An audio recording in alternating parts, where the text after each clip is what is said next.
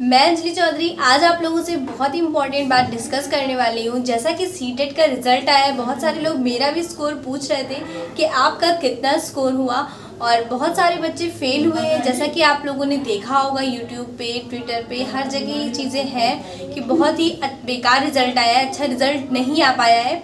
तो इसके पीछे क्या रीज़न है और क्या दोबारा सीटेट होगा या कब होगा? और बीपीएससी में मेरा क्या था स्कोर तो ये सारी चीज़ें इस वीडियो में डिस्कस करने वाले हैं। बहुत ही छोटी वीडियो होगी, बस आप लोगों से कुछ डिस्कस करना है। फ़र्स्ट ऑफ़ ऑल जो सीटेट का रिज़ल्ट आया, उसमें 10 लाख से ज़्यादा बच्चे फेल हुए हैं। ये बात हर कोई कह रहा है और ऐसा मतलब क्यों हुआ है? तो बहुत सारे लोग रीज़न दे रहे हैं, बोल रहे हैं कि पहले ऑनलाइन होता था तो उसमें सेटिंग वगैरह हो जाती थी और ऑफलाइन में नहीं हो पाई। तो ऐसा कुछ भी नहीं है, मुझे लगता है जहाँ तक कि ऐसा कुछ भी नहीं है, क्योंकि पहले तो सीटेट ऐसा ही होता था ऑफलाइन ही होता था और रिज़ल्ट कुछ हद तक ठीक आता था बट इस बार रिज़ल्ट अच्छा नहीं आया। तो पहला रीज़न जो मुझे लगता है कि जो बीपीएससी और सीटेट का रिज़ल्ट जो एग्ज़ाम था, वो आसपास था तो बहुत सारे बच्चों ने बीपीएससी पर फोकस किया सीटेट पे ज़्यादा फोकस नहीं किया, ये सोचा कि सीटेट तो हमारा निकल जाएगा।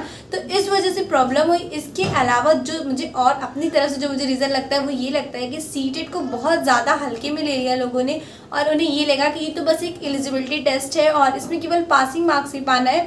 तो ये सोच करके कहीं ना कहीं उनका एक या दो नंबर से रह गया और जिसकी वजह से उनका रिज़ल्ट बहुत ज़्यादा निगेटिव आ गया है। तो मुझे तो यही रीज़न लगता है। और रही बात मेरे सीटेट में स्कोर कार्ड या मेरा स्कोर कितना हुआ तो आपको बता दें, इस बार सीटेट का फॉर्म मैंने अप्लाई नहीं किया था क्योंकि हम पहले भी सीटेट दे चुके हैं और उसका स्कोर आप लोगों के साथ इन वीडियोस में शेयर भी कर चुके हैं। तो अब मुझे ना ही सीटेट का एग्ज़ाम देना है और ना ही टेट का एग्ज़ाम देना है क्योंकि इन एलिजिबिलिटी टेस्ट में मैंने जो भी स्कोर किया था वो आप लोगों को बताया है।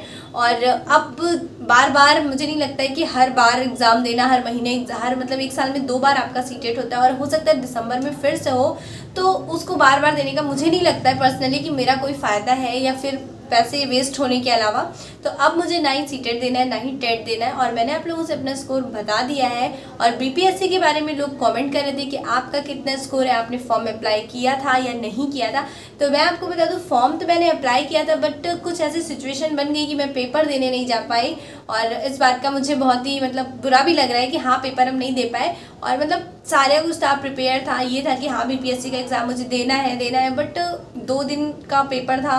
मतलब दो अलग अलग डेज़ में पेपर था और फिर घर में भी थोड़ी सी प्रॉब्लम थी। आप लोग अगर ग्लोबल रश्मि दी का ब्लॉग देखते हैं तो आप लोग को बहुत सारी चीज़ें फैमिली का पता ही होगा।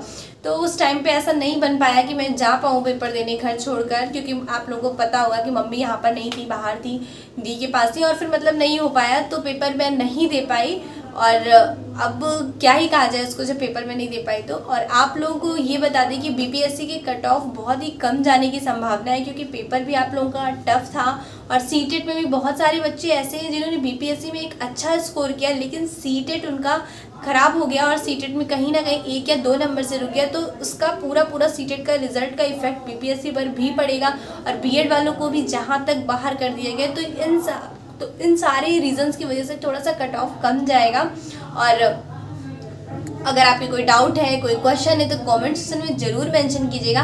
मेरी वीडियो कल फिर आएगी और उसमें आप लोगों की कमेंट्स का रिप्लाई होगा। तो मिलते हैं नेक्स्ट वीडियो में। तब तक आप लोग अपना प्यार बनाए रखिएगा चैनल को सब्सक्राइब कीजिएगा और कमेंट सेक्शन में अपनी बातें मेंशन करना मत भूलिएगा। मिलते हैं नेक्स्ट वीडियो में।